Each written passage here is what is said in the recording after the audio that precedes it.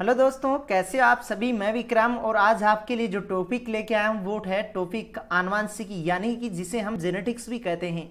और आज इस वीडियो में मैं आपके लिए बहुत ही इंपॉर्टेंट क्वेश्चन लेके आया हूँ और उन सभी क्वेश्चनों को हम बहुत अच्छे लेवल से समझने वाले हैं। बसरते सिर्फ़ आप मेरे साथ वीडियो में एक पैसेंस के साथ और एक नई ऊर्जा के साथ आप मेरे साथ वीडियो में एंड तक बने रहिए। और आज हम जेनेटिक्स से रिलेटिव जितने भी आगामी प्रतियोगी परीक्षाओं में इससे क्वेश्चन पूछे जाएँगे और इस टॉपिक से पीछे एग्जामों में क्वेश्चन पूछे गए हैं, उन सभी क्वेश्चनों को हम यहाँ से डिस्कस करने वाले हैं। तो आप मेरे साथ वीडियो में एंड तक बने रहिए। और दोस्तों, यदि आपने टॉपिक से रिलेटिव अभी तक आपने पीडीएफ को प्राप्त नहीं किया है तो डिस्क्रिप्शन बॉक्स में जाएँ और आप टॉपिकों से संबंधित जो पीडीएफ है, उस पीडीएफ को भी आप प्राप्त करें। चलिए दोस्तों, आज के क्वेश्चन की ओर बढ़ते हैं। आज का जो एक नंबर का जो क्वेश्चन है, वो है हमारे पास, जैसा आप स्क्रीन पे भी देख पाए होंगे एक नंबर के क्वेश्चन को, कि आनुवंशिकी का पिता किसे कहते हैं? देखो, यदि हमने जो आपके पास जो तीन हज़ार प्लस जो क्वेश्चनों की जो हमने सीरीज़ शुरू कर रखी है, उस उस सीरीज़ के यदि आप फ़र्स्ट क्लास से यदि जुड़े हुए हो तो आपको ये क्वेश्चन बताने में कोई अदुविधा नहीं हो रही है। क्योंकि हमने वहाँ जाना था, विज्ञान के रिलेटिव जितने भी जनक होते हैं उन जनकों से संबंधित हमने वहाँ बातें की है। तो वहाँ मैंने आपको बताया था कि जीव विज्ञान का जनक कौन होता है, रसायन विज्ञान का जनक कौन होता है, भौतिक विज्ञान का जनक कौन होता है। ऐसी बातों को हमने वहाँ से डिस्कस किया है तो अभी तक आपने उन वीडियोस को नहीं देखा है तो प्लेलिस्ट को विज़िट करके आप सभी टॉपिकों को वन बाय वन करके देखें, जिससे कि सभी जो जुड़ाव की चीज़ें हैं, वो आपको बहुत अच्छे तरीके से समझ में आ सके। तो देखो, आनुवांशिकी का पिता किसे कहते हैं? उसी फ़र्स्ट लेक्चर में हमने यहाँ से डिस्कस किया था कि आनुवांशिकी का पिता कहते हैं किसको? ग्रेगर जोन मेडल को कहते हैं। किसको कहते हैं? ग्रेगर जोन मेडल को कहते हैं। और मेंडल ने ही आनुवांशिकी गुणों का सर्वप्रथम प्रतिपादन किया था। और मेंडल ने आनुवांशिकी गुणों के अध्ययन के लिए सबसे पहले जिस पौधे को चुना था, वो पौधा था किसका? मटर का पौधा था। तो यहाँ से हमारा सही जवाब होता ग्रेगर जोन मेडल को आनुवांशिकी का पिता कहते हैं। फादर ऑफ़ जेनेटिक्स भी इसे ही कहते हैं। चले तो हँसते मुस्कुराते ही अगले नेक्स्ट क्वेश्चन की ओर बढ़ते हैं। हमारा नेक्स्ट क्वेश्चन है, आधुनिक आनुवांशिकी का जनक किसे माना जाता है? आधुनिक आनुवांशिकी का जनक किसे माना जाता है? देखो, हमने इससे पीछे वाला जो क्वेश्चन था, उसमें हमने डिस्कस किया था कि आनुवांशिकी का पिता किसे कहते हैं? आनुवांशिकी का पिता आपने वहाँ से सीखा होगा, किसे कहते हैं? ग्रेगर जोन मेडल को कहते हैं। लेकिन आप घबराए नहीं, क्योंकि परीक्षा वाला कई बार प्रश्न को थोड़ा सा घुमा के देता है अपन वहाँ फेल होने के कगार पे पहुँच जाते हैं। तो आधुनिक आनुवांशिकी का जो जनक होता है, देखो एनटीपीसी में यहाँ से क्वेश्चन पूछा गया था आधुनिक आनुवांशिकी का जनक होता है Gregor Johann Mendel. Gregor Johann Mendel होता है। तो यहाँ से हमारा सही जवाब होता, डी यहाँ से हमारा सही जवाब होता। तो ग्रेगर जोन मेंडल, और किसी भी वैज्ञानिक का यदि आप नाम पता रखो तो उसके लास्ट वाला ही पता रखें। जैसे इस ग्रेगर जोन मेंडल का पूरा नाम होता है ग्रेगर जोन मेंडल। लेकिन आप तो मेंडल यहाँ से पता रखें कि मेंडल जो होता है, इसे आनुवांशिकी की, आनुवांशिकी या आधुनिक आनुवांशिकी का पिता भी कहा जाता है। चलिए तो हँसते मुस्कुराते ही अगले क्वेश्चन की ओर बढ़ते हैं। देखो, सभी मॉडरेट क्वेश्चनों को मैं आपके लिए टॉपिक में लेके आता हूँ। देखो, सभी मॉडरेट क्वेश्चनों को हम यहाँ से डिस्कस करते हैं तो आप वीडियो में मेरे साथ अंत तक बने रहिएगा, जिससे कि आपको मालूम हो सके कि परीक्षाओं में किस प्रकार से टॉपिक से क्वेश्चन पूछे जा रहे हैं। तो चलिए तो जो तीसरे नंबर का क्वेश्चन है, उसको हम यहाँ से डिस्कस करना स्टार्ट करते हैं। हमारा जो तीसरे नंबर का जो क्वेश्चन है, वो है कि निम्नलिखित में से किस वैज्ञानिक को आनुवांशिकी के क्षेत्र में उनके द्वारा किए गए कार्य हेतु जाना जाना जाता है? देखो दिल्ली पुलिस के पेपर में यहाँ से मॉडरेट क्वेश्चन है 2020 में ये क्वेश्चन पूछा गया था। क्वेश्चन तो देखो, बहुत बड़ा दे रखा है। यदि आप मेरे साथ इस वीडियो में शुरू से बने हुए होंगे तो अब तक इस क्वेश्चन का जवाब भी आप कमेंट बॉक्स में लिख चुके होंगे कि आनुवांशिकी के क्षेत्र में सबसे बड़ा काम करने वाला जो वैज्ञानिक था, उस वैज्ञानिक को हम क्या कह रहे हैं? ग्रेगर जोन मेडल कह रहे हैं। इसी कारण ग्रेगर ज़ोर मेंडल को आधुनिक आनुवांशिकी का पिता भी कहा जाता है और इसने एक पीढ़ी से दूसरी पीढ़ी में जो लक्षणों का स्थानांतरण होता है, इस लक्षणों के स्थानांतरण को आनुवांशिकी कहा और आनुवांशिकी के नियम और आनुवांशिकी पे सबसे पहले अध्ययन करने वाला वैज्ञानिक था कौन? ग्रेगर जोन मेंडल था। यहाँ से हमारा सही जवाब होता, बी यहाँ से सही जवाब होता। चलिए तो अगले क्वेश्चन की ओर बढ़ते हैं। हमारा अगला क्वेश्चन है आनुवांशिकी नियम का अन्वेषण किसके द्वारा किया गया था? देखो, ये भी दिल्ली पुलिस के पेपर में यहाँ से क्वेश्चन पूछा गया था। और इससे पीछे वाला क्वेश्चन आप देख पाए होंगे, ये भी दिल्ली पुलिस के पेपर में ही पूछा गया था। तो दोस्तों, आप घबराए नहीं, सभी टॉपिकों को मैं आपके मॉडरेट क्वेश्चनों के साथ यहाँ से डिस्कस करवाने वाला हूँ। सिर्फ़ आप रोज़ाना 10 बजे वाली क्लास में मेरे साथ जुड़ जाइएगा। और यदि टॉपिक से रिलेटिव अभी तक आपने पीडीएफ नहीं प्राप्त किया है तो जल्दी ही आप कमेंट बॉक्स को चेक करें। कमेंट बॉक्स में पीडीएफ का लिंक दिया गया है। उस पीडीएफ के लिंक से आप सभी टॉपिकों के सामान्य विज्ञान के जो संपूर्ण नोट्स हमारे द्वारा दिए गए हैं, उस पीडीएफ के माध्यम से आप अवेलेबल कर सकते हैं।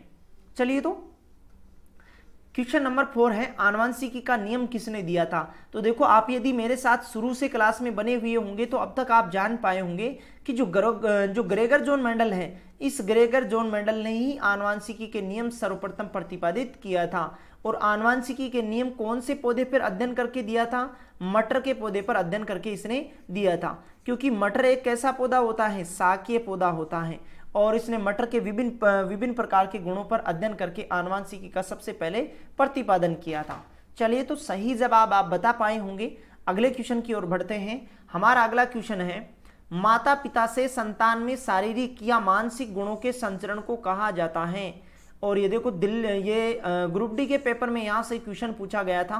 आगामी रेलवे की जितनी भी एग्ज़ाम लगने वाली हैं, जैसे जीडी लगने वाली है ग्रुप डी लगने वाली है एनटीपीसी लगने वाली है, या विभिन्न प्रकार की कॉम्पिटिटिव एग्ज़ाम जहाँ आप सामान्य विज्ञान को शामिल किया गया है आपके सिलेबस में, वहाँ यदि सामान्य विज्ञान में आप बहुत अच्छा स्कोर करना चाहते हो तो इस सीरीज़ के सभी वीडियोज़ को आप वन बाई वन करके देखें, क्योंकि ये जो सीरीज़ है वो आपके लिए बहुत ही उपयोगी साबित होने वाली है। आगामी प्रतियोगी परीक्षाओं में यहाँ से हुबहू क्वेश्चन आपको देखने को मिलेंगे। पीछे जो क्वेश्चन, पीछे जो आपके पास एग्ज़ाम लग चुकी हैं, हमारे द्वारा दिया गया जो कंटेंट है, उस कंटेंट में हुबहू क्वेश्चन पूछा गया है। तो एक बार आप भी हमारे साथ शुरू से एंड तक सफ़र करके देखें। तो देखो, एक पीढ़ी यहाँ तो दिया हुआ है क्या माता पिता से संतान में। आपको पूछा जा सकता है कि एक पीढ़ी से दूसरी पीढ़ी में जो लक्षणों का स्थानांतरण होता है, वो लक्षणों का स्थानांतरण किसके माध्यम से होता है या उस प्रक्रिया को क्या कहते हैं? एक पीढ़ी से दूसरी पीढ़ी में लक्षणों के स्थानांतरण की प्रक्रिया को, तो कहते हैं हम क्या? आनुवांशिकी कहते हैं। क्या कहते हैं? आनुवांशिकी कहते हैं। और एक पीढ़ी से दूसरी पीढ़ी में लक्षणों का स्थानांतरण गुणसूत्रों के द्वारा होता है। किसके द्वारा होता है? गुणसूत्रों के द्वारा होता है। तो क्वेश्चन में तो हमें यहाँ से परिभाषा बतानी थी कि माता पिता से संतान में शारीरिक या मानसिक गुणों के संचरण को क्या कहा जाता है। तो ये हमने डिस्कस कर चुके कि एक पीढ़ी से दूसरी पीढ़ी में जो लक्षण स्थानांतरण होते हैं, उन्हें हम क्या कहते हैं? आनुवांशिकता कहते हैं। तो हमारा फिफ्थ नंबर का सही जवाब होता डी यहाँ से सही जवाब होता। चलिए तो अगले क्वेश्चन की ओर बढ़ते हैं। हँसते मुस्कुराते ही। हमारा अगला क्वेश्चन है, गुणसूत्र किससे संबंधित होते हैं? देखो, यदि आप मेरे साथ इस क्लास में शुरू से बने हुए होंगे तो मैंने आपको बताया है कि एक पीढ़ी से दूसरी पीढ़ी में लक्षणों के स्थानांतरण की जो प्रक्रिया होती है, इस प्रक्रिया को हम आनुवांशिकी कहते हैं। और आनुवांशिकी में मैंने आपको परिभाषा में क्या बताया कि किसका स्थानांतरण होता है? लक्षणों का स्थानांतरण होता है। लक्षणों का स्थानांतरण किसके माध्यम से होता है? गुणसूत्रों के माध्यम से होता है। गुणसूत्रों पे क्या पाए जाते हैं? जीन पाए जाते हैं। जीन क्या बनाते हैं? आरएनए। आरएनए क्या बनाता है? डीएनए। ओ सॉरी यहाँ आपके पास जीन क्या बनाता है? डीएनए डीएनए क्या बनाता है? आरएनए आरएनए किसका बना होता है? आरएनए बना होता है प्रोटीन का। प्रोटीन किसके बने हुए होते हैं? एंजाइम के। और एंजाइम जो होते हैं, वो हमारे शरीर में सभी जो उपापचयी प्रकार की क्रियाएँ होती हैं, उन क्रियाओं को नियंत्रण करने का कार्य करते हैं। तो गुणसूत्र किससे संबंधित होते हैं? आनुवांशिक लक्षणों के संचरण से संबंधित होते हैं, क्योंकि एक पीढ़ी से दूसरी पीढ़ी में जो लक्षणों का स्थानांतरण होता है, इस प्रक्रिया को तो हम आनुवांशिकी कहते हैं, लेकिन आनुवांशिकी का स्थानांतरण या गुणों का स्थानांतरण या लक्षणों का स्थानांतरण किसके माध्यम से होता है? गुणसूत्रों के माध्यम से। और गुणसूत्रों पे क्या पाए जाते हैं? जीन। जीन क्या बनाते हैं? डीएनए। डीएनए क्या बनाता है? आरएनए। आरएनए किसके बने हुए होते हैं? प्रोटीन के। और प्रोटीन किसके बने हुए होते हैं? एंजाइम के बने हुए होते हैं। तो देखो, ये रेलवे की एग्ज़ाम में यहाँ से क्वेश्चन पूछा गया है। इंपॉर्टेंट क्वेश्चन है दोस्तों। आगामी परीक्षाओं में यहाँ से क्वेश्चन आपको मिल सकता है। तो चलिए तो इसी प्रकार उपयोगी क्वेश्चनों को हम यहाँ से डिस्कस करने वाले हैं। तो आप मेरे साथ वीडियो में अंत तक बने रहिएगा। सेवन नंबर का क्वेश्चन है, मानव शरीर में एक कोशिका में कितने गुणसूत्र होते हैं? यदि हमारे को क्वेश्चन में कहा जाए मनुष्य में मनुष्य में यदि गुणसूत्रों की बात की जाए तो मनुष्य में गुणसूत्रों की संख्या होती है कितनी? या तो आपको एक सिंगल सेल के बारे में पूछेगा या ओवरऑल मनुष्य में बात करेगा तो ओवरऑल बात करेगा तो एक ही कोशिका के बारे में बात करता है हमें। सिर्फ़ यहाँ पर्सन हमारे को थोड़ा सा घुमा के दिया कि एक कोशिका में कितने होते हैं। मनुष्य में टोटल गुणसूत्रों की संख्या होती है छियालीस। या आप इसको पेड़ में बता सकते हो, तेईस जोड़ी। देखो, कई बार आपको ऑप्शनों में यदि पर्सन यदि आपको ऐसे पूछा जाता है कि एक कोशिका में गुणसूत्र कितने होते हैं तो या तो आपको ऑप्शन में छियालीस मिलेगा, या आपको कितना मिलेगा? तेईस जोड़ी मिलेगा। लेकिन ये छियालीस जो गुणसूत्र होते हैं, ये भी आप ध्यान रखें, यहाँ से दो प्रकार के होते हैं। एक तो होते हैं एलिंग गुणसूत्र। क्या होते हैं? एलिंग गुणसूत्र होते हैं। और दूसरा जो प्रकार होता है, वो होता है लिंग गुणसूत्र। एलिंग गुणसूत्र उन गुणसूत्रों को कहते हैं जो लिंग का निर्धारण नहीं करते हैं। किसका निर्धारण नहीं करते? हैं लिंग का निर्धारण नहीं करते। और लिंग गुणसूत्र हम उसको कहते हैं जो लिंग का निर्धारण करते हों। उन्हें कहते हैं लिंग गुणसूत्र। अब देखो, यहाँ तो ओवरऑल बात किया हमसे कि टोटल गुणसूत्र कितने होते हैं तो यहाँ से तो हमारा सही जवाब होता ए लेकिन एलिंग गुणसूत्रों के बारे में पूछे कि एलिंग गुणसूत्र कितने होते हैं तो हमें बताना है वहाँ से कितना चौवालीस या बताना है हमें कितना 22 जोड़ी। जोड़ी में पूछे तो 22 बताना है, बाकी वैसे कितना बताना है, चौवालीस बताना है। लेकिन लिंग जो गुणसूत्र होते हैं, वो होते हैं या तो एक जोड़ी में बताना है हमें, या कितने बताना है, टोटल कितने बताने दो बताने हैं। जैसा आपको पूछे, वहाँ, वैसा ही आप उत्तर बता सकते हैं। टोटल गुणसूत्र पूछे छियालीस होंगे या तेईस जोड़ी होंगे। छियालीस गुणसूत्र भी दो प्रकार के होते हैं, जिन्हें एलिंग गुणसूत्र या लिंग गुणसूत्र कहते हैं। एलिंग गुणसूत्र लिंग का निर्धारण नहीं करते हैं। ये इनकी संख्या होती है चौवालीस या बाईस जोड़ी होती है। लिंग गुणसूत्र लिंग का निर्धारण करते हैं। इनकी संख्या एक जोड़ी या दो होते हैं। और जो एलिंग गुणसूत्र होते हैं, इन्हें कायिक गुणसूत्र भी कहा जाता है। कायिक या देहिक गुणसूत्र भी कहा जाता है। तो जैसा आपको परीक्षा में पूछा जाए यहाँ से, वैसा ही हम इसका सही जवाब बता सकते हैं। तो सातवें का सही जवाब होता ए होता। चलिए तो अगले क्वेश्चन की ओर बढ़ते हैं। अगला क्वेश्चन हमारे पास स्क्रीन आ चुका है और यहाँ पूछा हुआ है कि एक सामान्य मानव शरीर में कोशिकाओं में क्रोमोसोम की संख्या होती है। क्रोमोसोम यानी गुणसूत्र। ये भी देखो, रेलवे की एग्ज़ाम में यहाँ से क्वेश्चन पूछा गया था। यदि आप मेरे साथ पीछे के क्वेश्चन में बने हुए होंगे तो एट्थ नंबर के क्वेश्चन में हमें कोई ज़्यादा, यहाँ हमारे को कुछ ज़्यादा सीखने को नहीं था।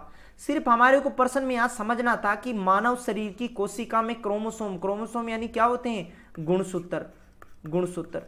जो क्रोमोसोम होते हैं, इन्हें ही हम क्या कहते हैं? गुणसूत्र कहते हैं। तो गुणसूत्रों की टोटल संख्या कितनी होती है? छियालीस। या आपको यहाँ लिख सकता है तेईस जोड़ी।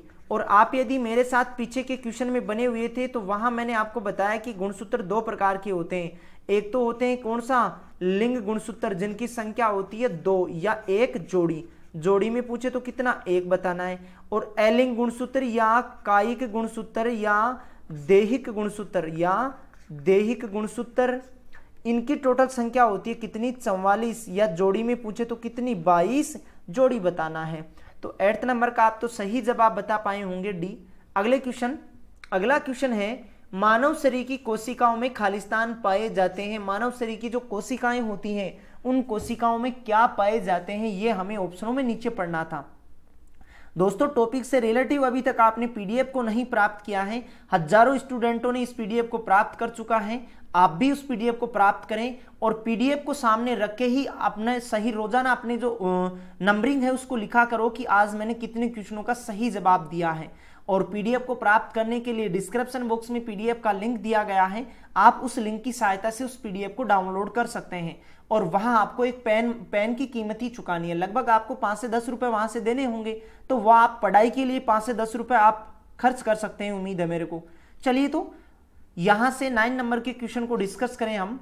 मानव शरीर की कोशिका में क्या पाई जाती है? इक्कीस जोड़ी गुणसूत्र नहीं, गलत जोड़ी। यदि आप मेरे साथ इस क्लास में शुरू से बने हुए होंगे, हमने यहाँ से पढ़ा है कि गुणसूत्रों की टोटल संख्या कितनी होती है? गुणसूत्रों की टोटल संख्या होती है कितनी? तेईस जोड़ी या यहाँ छियालीस। यदि टोटल संख्या पूछे तो छियालीस, और यदि जोड़ी में पूछेगा तो कितना? तेईस। और ये भी दो प्रकार के होते हैं। वो आप सीख चुके होंगे। एक को तो लिंग कहते हैं, लिंग गुणसूत्र दूसरे वाले को एलिंग गुणसूत्र कहते हैं।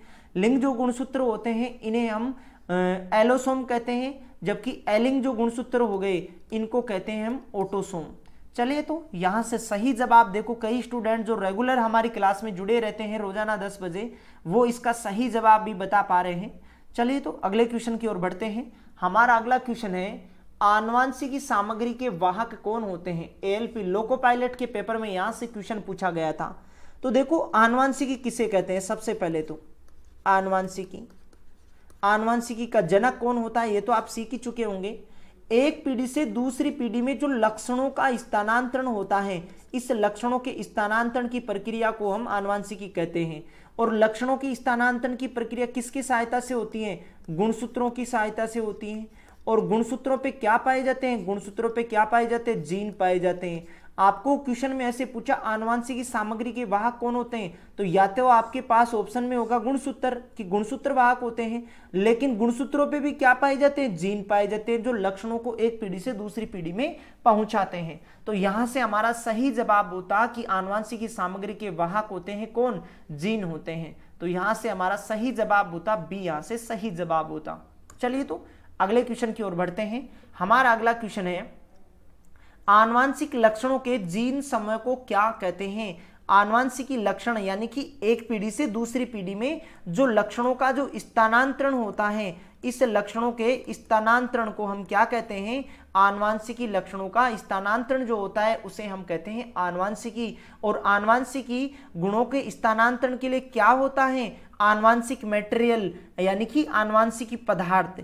और आप मेरे को कमेंट बॉक्स में ये लिख के बताएँ कि किसी भी कोशिका का आनुवांशिक पदार्थ कहाँ उपस्थित होता है। तो देखो, आप मेरे साथ पीछे के टॉपिकों में भी बने हुए थे जहाँ हमने कोशिका को पढ़ा था। तो वहाँ मैंने आपको बताया था कि किसी भी कोशिका का आनुवांशिक पदार्थ उस कोशिका के केंद्रक में भरा रहता है। कहाँ भरा रहता है? केंद्रक में भरा रहता है। तो आनुवांशिकी लक्षणों के जो जीन समय होता है, उसे हम कहते हैं, क्या जीनोटाइप कहते हैं। यहाँ से हमें ज़्यादा कुछ सीखने को नहीं था, सिर्फ़ यहाँ पता रखना था कि जो आनुवांशिक लक्षण, लक्षणों के जो जीन समय होता है, उसे हम जीनोटाइप कहते हैं। ये देखो, यहाँ से एनटीपीसी के पेपर में यहाँ से क्वेश्चन पूछा गया है। चलिए तो अगले क्वेश्चन की ओर बढ़ते हैं हम। अगले क्वेश्चन है, बच्चों में लिंग निर्धारण किसके द्वारा निर्धारित होता है? ये देखो, रेलवे की एग्ज़ाम में 2019 में यहाँ से क्वेश्चन पूछा गया था। क्वेश्चन बहुत इजी है, सिर्फ़ हमें क्वेश्चन को समझना था यहाँ से। क्वेश्चन हमें कह रहा है कि बच्चे का लिंग निर्धारण किससे होता है? बच्चा जो होता है, उसमें लिंग निर्धारण को निर्धारित करता है। तो देखो, बच्चे में गुणसूत्र या आनुवंशिक जो मेटेरियल होता है माता पिता से स्थानांतरण होता है। पचास प्रतिशत माता का योगदान होता है और पचास प्रतिशत ही पिता का योगदान होता है। लेकिन जो संतान में लिंग का निर्धारण करता है, वो लिंग का निर्धारण करता है पुरुष। कौन करता है? पुरुष। क्योंकि पुरुष में गुणसूत्रों की संख्या एक्स वाई होती है। यदि पुरुष के द्वारा एक्स गुणसूत्र जाएगा तो लड़की होगी। और यदि पुरुष के द्वारा वाई गुणसूत्र जाएगा तो वहाँ क्या होगा? लड़का होगा। इसी वजह से हम कह पाते हैं कि लिंग का निर्धारण कौन करता है, पुरुष के द्वारा करता है। और पुरुष में भी यदि आपको गुणसूत्रों की संख्या पूछे तो पुरुष में गुणसूत्रों की संख्या होती है चौवालीस प्लस एक्स वाई और महिलाओं में गुणसूत्रों की संख्या होती है चौवालीस प्लस एक्स एक्स होती है। ये चौवालीस है, इनको तो एलिंग गुणसूत्र कहते हैं, ये कभी भी लिंग का निर्धारण नहीं करते। लेकिन ये इधर वाले जो दो है ना, इनको कहते हैं हम लिंग गुणसूत्र कहते हैं। क्या कहते हैं? लिंग गुणसूत्र कहते हैं। तो क्वेश्चन में लिंग का निर्धारण पूछा हुआ है तो लिंग का निर्धारण कौन करता है? पिता के रक्त समय से होता है, या गुणसूत्रों से होता है, या माता के रक्त समय से होता है माता पिता के आरज कारक से होता है? तो ये तो ए बी और सी ये तो यहाँ से गलत होते हैं। हमारा सही जवाब होता है डी पिता का जो रक्त समय होता है, इससे बच्चे का लिंग निर्धारण होता है। तो यहाँ से आप सही जवाब बता पाए होंगे डी चलिए तो अगले क्वेश्चन की ओर बढ़ते हैं। अगला क्वेश्चन भी कुछ हमें उसी प्रकार से पूछा हुआ है। लेकिन यहाँ सिर्फ़ ऑप्शन और यहाँ क्वेश्चन की जो भाषा है, उसको ही अलग दे रखा है। यह भी किसी ना किसी एग्ज़ाम में यहाँ से पूछा गया है कि बच्चों में लिंग निर्धारण करता है तो बच्चों में लिंग निर्धारण कौन करता है? पिता करता है। क्योंकि पिता में पाए जाने वाले जो गुणसूत्र होते हैं, वो गुणसूत्रीय प्रारूप होता है चौवालीस प्लस एक्स वाई। यदि पिता के द्वारा एक्स गुणसूत्र का वहन होता है तो क्या होगी? लड़की और यदि वाई गुणसूत्र जाता है तो वहाँ क्या होगा? लड़का होगा। तो कुल मिला के बात आप जान ही चुके होंगे कि पिता के द्वारा गुणसूत्रों का क्या होता है? स्थानांतरण होता है जो पिता का जो गुणसूत्रीय प्रारूप होता है वो कितना होता है? चौवालीस प्लस एक्स वाई। एक्स गुणसूत्र जाएगा, लड़की होगी, वाई गुणसूत्र जाएगा, लड़का होगा।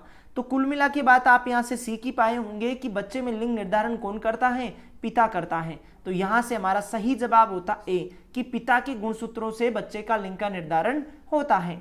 चलिए तो अगले क्वेश्चन की ओर बढ़ते हैं। हमारा अगला क्वेश्चन स्क्रीन पे आ ही चुका है और आप कमेंट बॉक्स में भी इसका सही जवाब लिख पा रहे होंगे कि आनुवांशिकी गुणों के वाहक होते हैं। आनुवांशिक गुणों के वाहक कौन होते हैं? डीएनए होते हैं। आनुवांशिक की परिभाषा आप पढ़ी चुके होंगे कि एक पीढ़ी से दूसरी पीढ़ी में जो लक्षणों का स्थानांतरण होता है उन लक्षणों के स्थानांतरण के लिए कौन रेस्पॉन्सिबल होता है?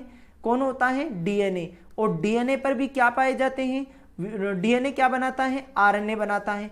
आरएनए किसका बना होता है? प्रोटीन का बना होता है।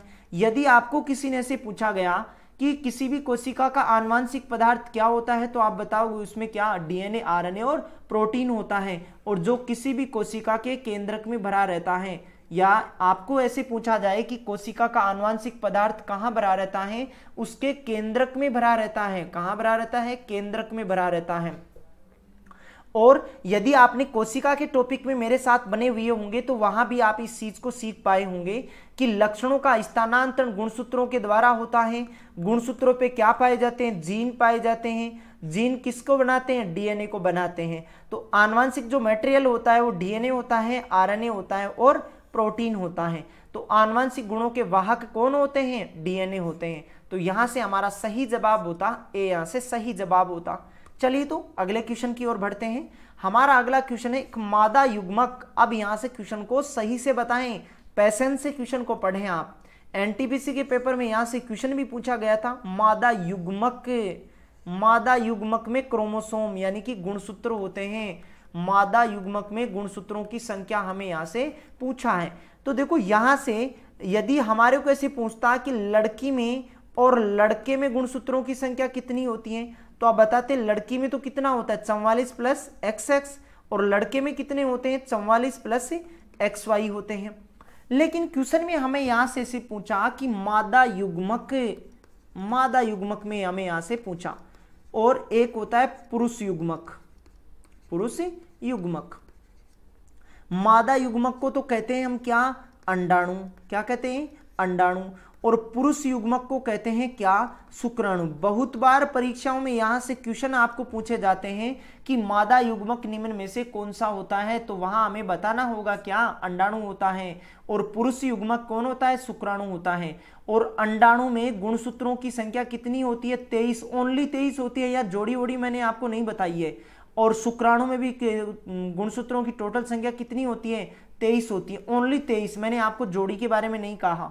यदि आपको मनुष्य के बारे में पूछे गुणसूत्रों की टोटल संख्या, वहीं आपको बतानी होगी कि छियालीस या तेईस जोड़ी होती है।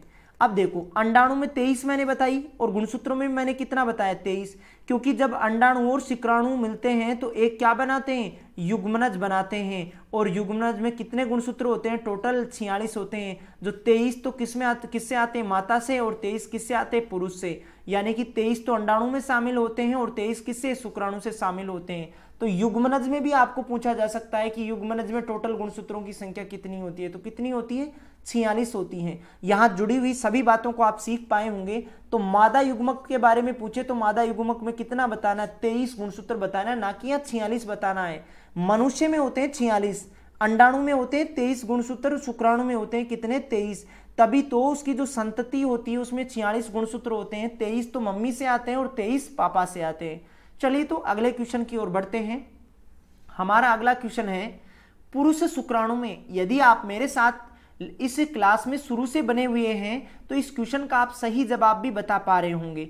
चलिए तो देखिए कमेंट बॉक्स में इसका सही जवाब लिखें आप कि इस प्रश्न का सही जवाब क्या होना चाहिए। पुरुष शुक्राणु में गुणसूत्रों की संख्या यहाँ से हमें पूछा और ये देखो रेलवे की परीक्षा में ये पहले क्वेश्चन पूछा गया है।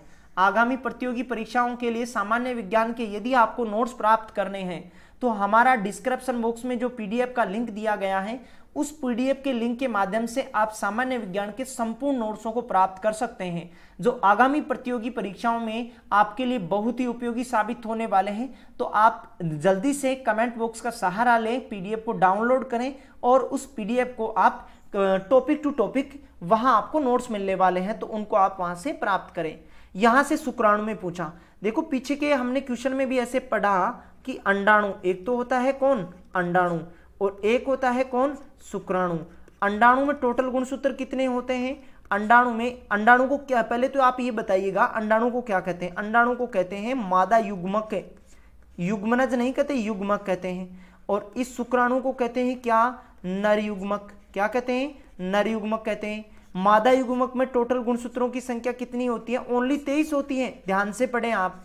तेईस होती है। और नर युग्मक में भी कितने होते हैं? तेईस ही होते हैं। क्योंकि जब तेईस और तेईस मिलता है, तभी तो छियालीस बनाएगा। एक अंडाणु और एक शुक्राणु जब मिलता है तो क्या बनता है? एक संतति कोशिका बनती है। और संतति कोशिका में टोटल गुणसूत्रों की संख्या कितनी होती है? छियालीस होती है।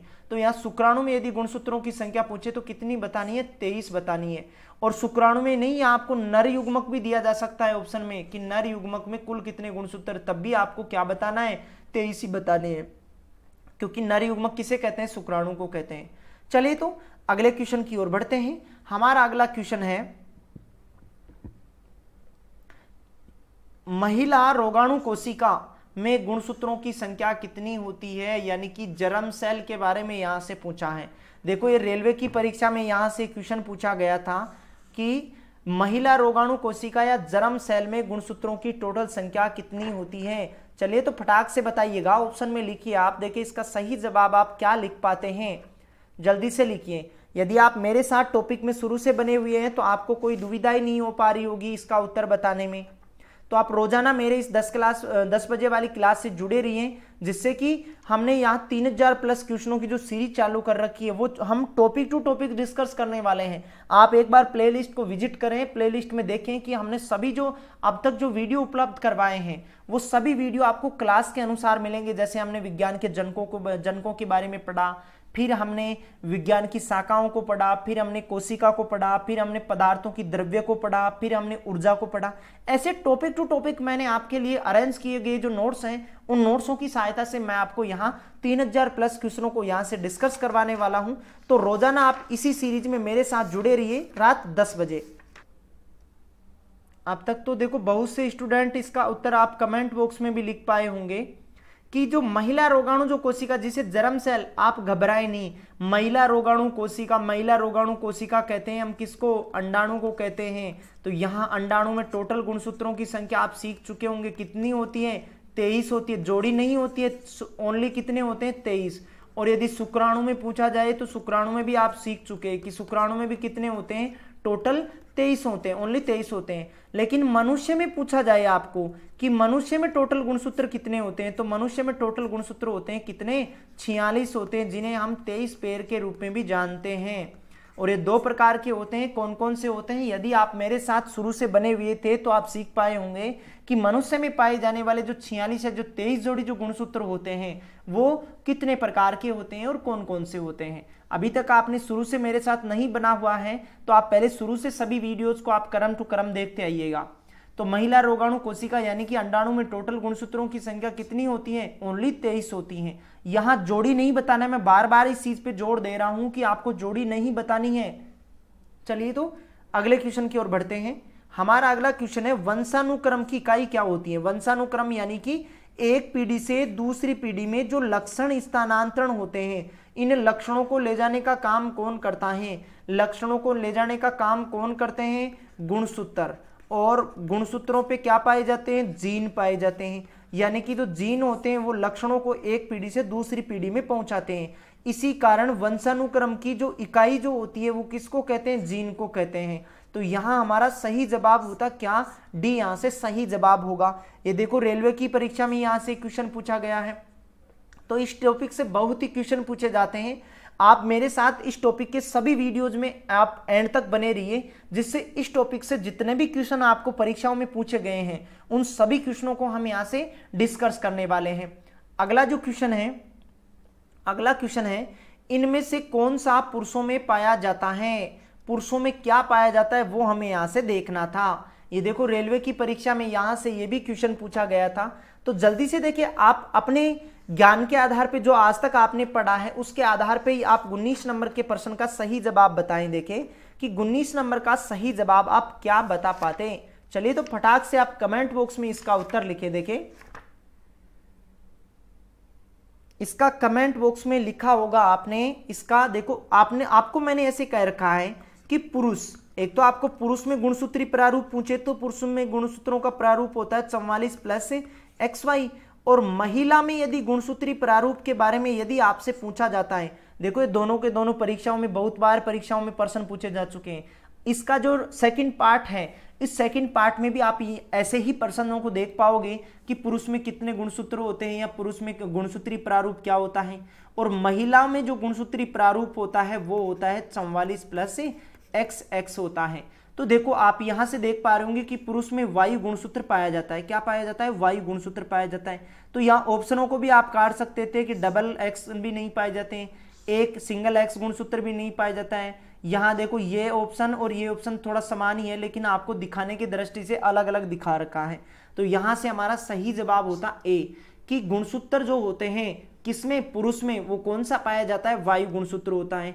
और जो पुरुष ही होता है, वो पुरुष ही लिंग का निर्धारण करता है। किसका निर्धारण करता है? लिंग का निर्धारण करता है। यदि पुरुष के द्वारा एक्स गुणसूत्र जाता है तो लड़की होती है। और यदि पुरुष के द्वारा वाई गुणसूत्र का स्थानांतरण होता है तो वहाँ संतति का प्रकार होता है लड़का। कैसा होता है? लड़का होता है। यहाँ आपको लड़का लिखना है। लड़का। तो आपको कई बार परीक्षाओं में ऐसे पूछा जाता है कि लिंग का निर्धारण कौन करता है तो आपको बताना होगा, वहाँ से कौन करता है, पुरुष करता है। तो 19 नंबर का सही जवाब होता, ए यहाँ से सही जवाब होता। चलिए तो अगले क्वेश्चन की ओर बढ़ते हैं। हमारा अगला क्वेश्चन है, बहुगुणित होकर बड़ी संख्या में कोशिकाएँ निर्मित करने वाली विशिष्ट कोशिकाओं द्वारा निम्नलिखित में से किस प्रकार का प्रजनन किया जाता है? यानी कि बड़ी संख्या में कोशिकाएँ निर्मित करने वाली विशिष्ट कोशिकाओं द्वारा निम्नलिखित में से किस प्रकार का प्रजनन किया जाता है? देखो, ये मॉडरेट क्वेश्चन है। दिल्ली पुलिस के पेपर में यहाँ से क्वेश्चन आपको देखने को मिला था। किसी भी जीव का, देखो, यहाँ क्वेश्चन में हमें पूछा हुआ था कि बहुगुणित होकर बड़ी संख्या में कोशिकाएँ निर्मित करने वाली विशिष्ट कोशिकाओं द्वारा निम्नलिखित में से किस प्रकार का प्रजनन किया जाता है? ये देखो, यहाँ से दिल्ली पुलिस के पेपर में यहाँ ये क्वेश्चन पूछा गया था। तो यहाँ से हम इसका सही जवाब बता पाते पुनर्जनन। अब देखो, पुनर्जनन को आप समझिए, पुनर्जनन किसे कहते हैं? पुनर्जनन कहते हैं किसी भी जीव के छोटे खंड से, किसी भी जीव के छोटे खंड से जीव, छोटे खंड से जीव के जीव के पूरे शरीर का निर्माण। इसी को कहते हैं हम क्या? पुनर्जनन। यदि किसी भी जीव का छोटा सा भाग है, छोटा सा टुकड़ा है, उस जीव के छोटे से कण से पूरे शरीर का निर्माण करना क्या कहलाता है? पुनर्जनन कहलाता है। और इस पुनर्जनन में ही बहुत बड़ी संख्याओं का उत्पादन किया जाता है। तो 20 नंबर के क्वेश्चन का आप सही जवाब बता पाते। यहाँ से क्या? बी, यहाँ से सही जवाब करना था। दिल्ली पुलिस के पेपर में जब ये क्वेश्चन पूछा गया था तो यहाँ हमारा सही जवाब था क्या? बी, यहाँ से सही जवाब था। दोस्तों, यदि आप मेरे साथ लेक्चर में, आज हम जिस लेक्चर को स्टार्ट किया था, वो था आनुवांशिकी जेनेटिक्स और देखो, आगामी प्रतियोगी परीक्षाओं में भी आपको जेनेटिक्स से संबंधित क्वेश्चन आपको देखने को मिलेंगे। तो इसके जितने भी पार्ट आगे आने वाले हैं, या ये आप जिस पार्ट को आपने इस पार्ट को देखा है पूरा, इनको सभी को आप रिवाइज करके भी देखें। प्लेलिस्ट में बहुत से टॉपिक हमने ऐड कर रखे हैं तो प्लेलिस्ट को आप चेक करके उन टॉपिकों को भी आप देखें। और अपनी जो सामान्य विज्ञान की जो स्कोरिंग है, उन स्कोरिंग को आप इस सीरीज़ में एंड तक बने रखकर यानी कि हम इस सीरीज़ में तीन हज़ार प्लस क्वेश्चनों को, टॉपिक को, टॉपिकों के अनुसार देखने वाले हैं।